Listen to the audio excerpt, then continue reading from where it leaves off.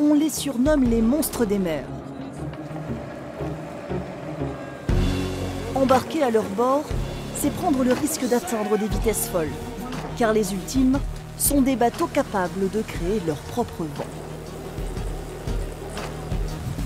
On va souvent plus vite que la vitesse du vent. C'est vraiment des machines à vent. C'est assez euh, étonnant pour ça et assez unique les multicoques pour, pour ça. Donc, euh, donc voilà, tout, tout est dans l'art de, de savoir euh, créer le vent euh, d'abord pour ensuite pouvoir euh, glisser avec.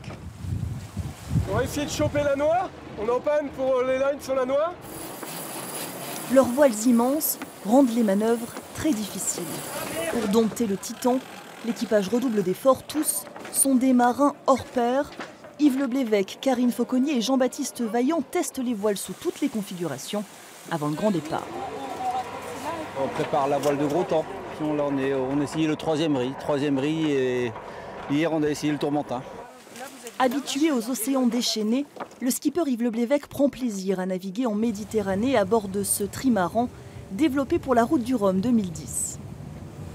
On régate dans un endroit extraordinaire avec un départ euh, au, ras de la, corniche. Donc là, tous les ingrédients sont faits pour passer des moments euh, inoubliables de navigation. Et la Méditerranée le lui rend bien. À trois jours du départ de la course, Yves Leblévec s'est déjà imposé sur le prologue et le run d'exhibition.